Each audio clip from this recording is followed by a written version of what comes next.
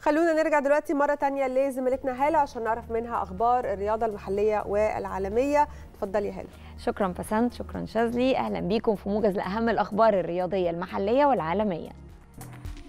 المنتخب الأولمبي لكرة القدم بقيادة البرازيلي ميكالي اختتم تدريباته امبارح استعدادا للقاء نظيره المالي باستاد ابن بطوطة في الجولة الثانية للمجموعة الثانية في كأس الأمم الأفريقية لكرة القدم تحت سن 23 سنة. شدد ميكالي على ضرورة التركيز في اللمسة الأخيرة وأن تكون إيجابية على المرمى. وده لعلاج ظاهرة إهدار الفرص.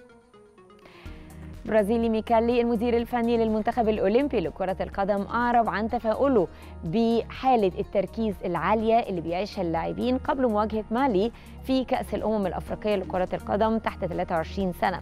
أكد ميكالي في المؤتمر الصحفي للمباراة عن رغبته كل أفراد المنتخب في الفوز وإحراز نقاط المباراة وقطع خطوة مهمة في رحلة الحلم نحو أولمبياد باريس.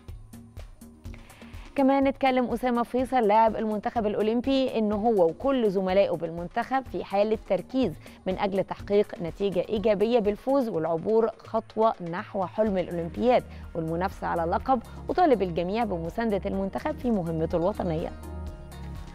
مارسيل كولر المدير الفني قاد لاعب الاهلي لاعبي الأهلي في فقرات فنية وتدريبية متنوعة بداية من المران الجماعي وأدى رباعي حراسة المرمى تدريبات بدنية وفنية متنوعة. واختتم كولر فقرات المران بتقسيمة قوية شارك فيها جميع اللاعبين المتواجدين في المران. وده في إطار الاستعداد لمواجهة البنك الأهلي مساء الخميس ضمن منافسات الدوري. فريق الزمالك نجح في تحقيق الفوز على غزل المحلة بنتيجة 2-0 في المباراة اللي جمعت بينهم باستاد القاهرة الدولي ضمن منافسات الجولة 32 لمسابقه الدوري المصري. سجل هدفي الزمالك أحمد سيد زيزو وشيكابالا في الدقيقتين 15 و72 من عمر المباراة.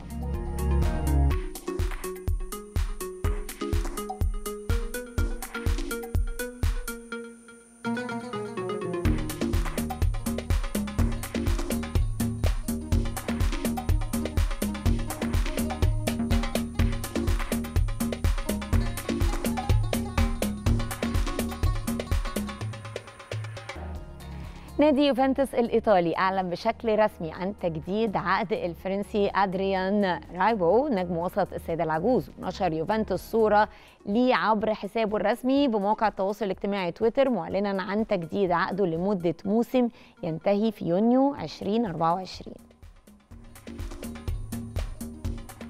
نادي توتنهام هوتسبير الإنجليزي أعلن تعاقده رسميا مع فيكاريو حارس مرمى امبولي لينضم للفريق. بداية من الموسم الجديد وفقا للموقع الرسمي للنادي وقع اللاعب الدولي الإيطالي عقد مع النادي يستمر حتى عام 2028 وسيرتدي القميص رقم 13